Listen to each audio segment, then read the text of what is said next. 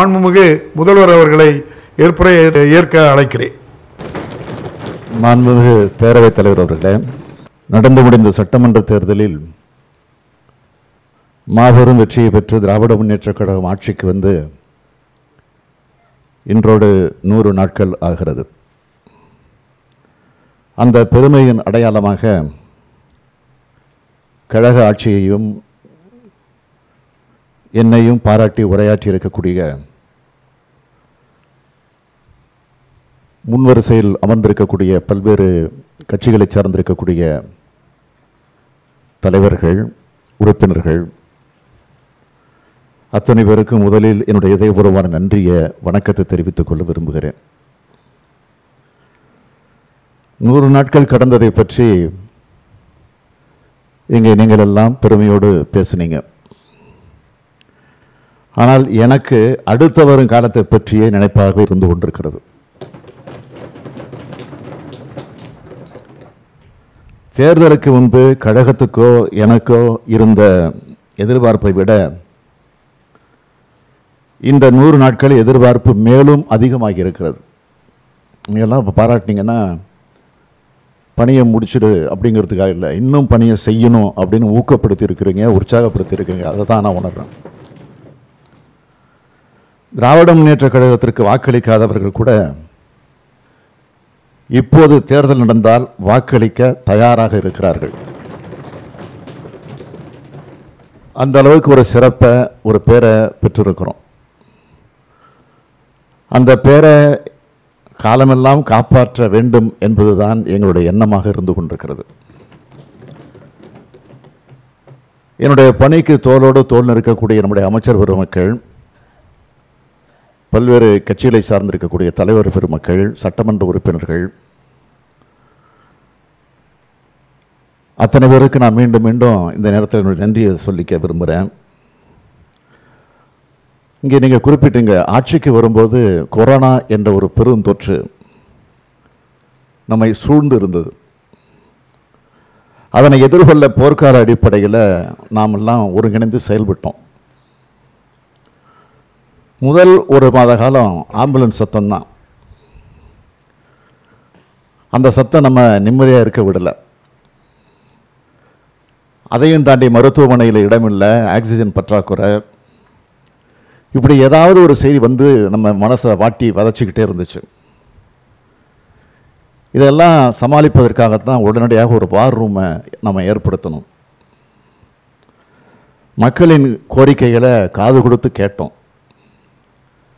அதை முடிஞ்ச வரைக்கும் நாம் நிவர்த்தி செஞ்சோம். இன்னும் சொல்லணும்னா கோரிக்கைகளே வராத வர முடியாத ஒரு சூழ்நிலையை இப்போ உருவாக்கி இருக்கிறோம். லட்சக்கணக்கான மக்களை காப்பாற்றியதும் அவர்களுக்கு அரவணைப்பாக இருந்ததும் தான் என்னை பொறுத்த வரைக்கும் இந்த நூறு நாளில் நாம் செஞ்ச சாதனையை தான் நான் பெரிய சாதனையாக நான் கருதி கொண்டிருக்கிறேன். வாடிய பயிரை கண்டபோதெல்லாம் வாடினேன் என்று வல்லராய் போல இந்த அரசு நடவடிக்கை எடுத்தது என்று நம்முடைய வருங்கால தலைமுறை சொல்லணும் நம்ம பற்றி தேர்தல் வாக்குறுதியை இப்போ படிப்படியாக நான் முழுசாக எல்லாத்தையும் நிறைவேற்றிட்டோன்னு சொல்லி உங்களை ஏமாற்றிக்கிட்டு எங்கேயும் ஏமாற்றிக்க நான் தயாராக இல்லை. படிப்படியாக நிறைவேற்றிக்கிட்டு இருக்கிறோம். நிறைவேற்றுவோம். அதில் எந்த மாற்றமும் கிடையாது. அதில் உறுதி நேற்றைய தினம் முதல் நிதிநிலை அறிக்கையை நம்முடைய நிதியமைச்சர் அவர்கள் இங்கே தாக்கல் செய்திருக்கிறார்கள். நமது அரசினுடைய நூறாம் நாளில் தமிழகத்தினுடைய வரலாற்றில் பதிவாகக்கூடிய வகையில் நீங்கள் எல்லாம் பெருமையோடு சொன்ன அடிப்படையில் வேளாண் துறையினுடைய நிதிநிலை அறிக்கை தாக்கல் செய்யப்பட்டிருக்கு. அனைத்து துறைகளுக்கும் தாயுலத்தோடு திட்ட ஒதுக்கீடு செய்யப்பட்டிருக்கு. வரி இல்லாத நிதிநிலை அறிக்கையை கொடுத்துருக்குறோம். இப்போது தான் தொடங்கியிருக்கிறோம் படிப்படியாக அனைத்து வாக்குறுதியும் நிச்சயமாக நிறைவேற்றி காட்டுவோம். யாருக்கும் எந்த சந்தேகம் வேண்டாம்.